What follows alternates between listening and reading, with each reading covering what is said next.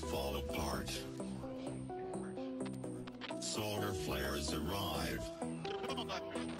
Buildings collapse.